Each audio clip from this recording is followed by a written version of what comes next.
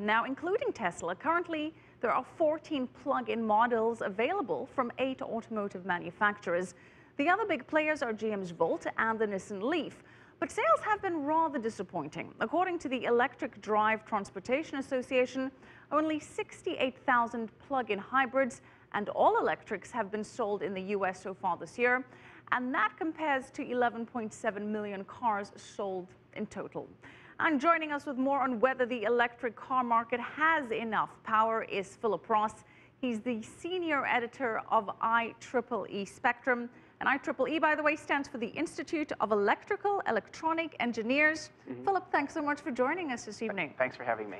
So, Philip, according to your data, how do the electric vehicle sales, the hybrids, compare with those of regular vehicles? It's a small niche market, um, but it's amazing that it got this big this fast.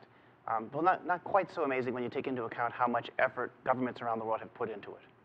They subsidize it, they provide infrastructure, and that together with the underlying technology, which has gotten better, quite a bit better in recent years, has made it possible to drive in a car and still think it and think it's perfectly fine, even though it's got batteries instead of a gas motor inside. And, and that's one of the big issues, range anxiety. Mm. Drivers being afraid that they'll run out of electricity for the mm. battery and not have anywhere to charge it. Yes.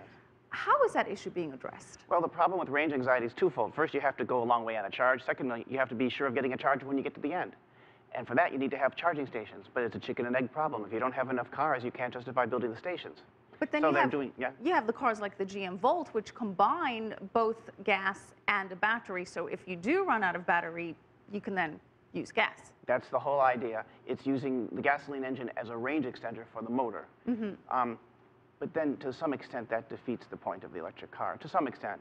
Um, in any case, having even the, the hybrid system as a plug-in, which functions mainly as an electric car with a range extender, is an amazing advancement. I wouldn't have thought it possible 10 years ago. Okay, we've made a lot of advancements. As you've said, governments have put in a lot of incentives. Mm -hmm. But electric cars still aren't really there in terms of total sales. What are the major factors holding the electric vehicle market back right now? Cost. Um, these batteries are vastly better than what was around 20 years ago when General Motors had its EV1, lead acid batteries, the sort of things they use to, to start your car now. But they're not good enough and they're not cheap enough yet. Uh, they're getting better at a slow and steady rate. And in 10 years, perhaps they'll be good enough, except that by then the internal combustion engine will have improved as well. What we need is a really big breakthrough, which might come in 15 or 20 years with something like lithium air batteries, which are now just in the laboratory. So you're saying the big issue right now is the cost of the lithium ion battery? Yes, $10,000 or so for a, for a car. And they may not last as long as the car itself in some cases. Well, a new study by PwC shows that the economy of scale will come a long way with regards to reducing the overall cost of these batteries. If you build something in mass, it gets cheaper by the unit. That's true. And that's happening now. But uh, you're competing against a technology, gasoline engines, that's been going on for 100 years and has been built in stupendous numbers. And it's very te technologically sophisticated, and it's getting better too. It's a, it's a, moving target you're shooting at here. We've had a couple of safety concerns, as we saw in Mark Niu's report, a couple of Tesla cars catching fire, mm. proportionately really smaller than compared to regular combustion uh, engine cars. Cars, cars go blow up in different ways depending on how they're made. Um, this is a safe car. No one has really made any case that it isn't. But when it does blow up, it'll blow up in a different way than the one you're used to, and that makes for good coverage. So from a safety perspective, is that any kind of concern? No. Now, gas prices have been declining recently. Mm -hmm.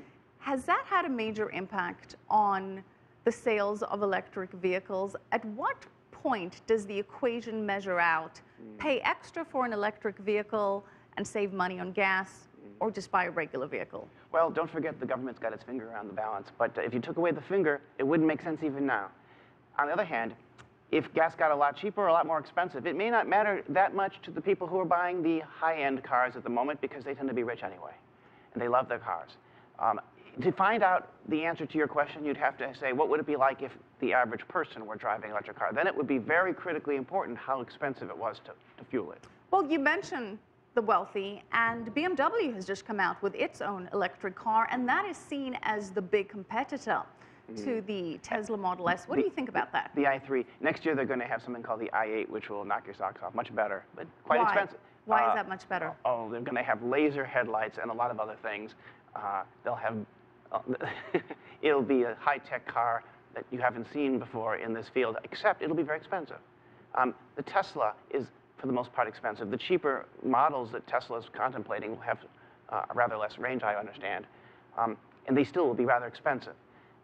And this is after taking into account government subsidies. From an engineering point of view, Mm-hmm. what is your outlook for Tesla? for Tesla, the company? Well, uh, if you'd asked me that before, I would have been more pessimistic, but Elon Musk has beaten me every time. He's quite the impresario, and he's a very good engineer. I think um, for a startup, and it's still a startup, they have to be given great credit. I don't know that I would invest in them now, though. Their stock price looks frothy to me as a non-financier.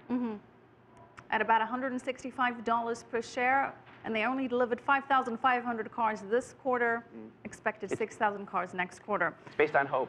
Based on hope, hope in the Hyperloop. Okay, we're going to have to leave it there. Thank you so much, Philip Ross, senior editor of IEEE Spectrum.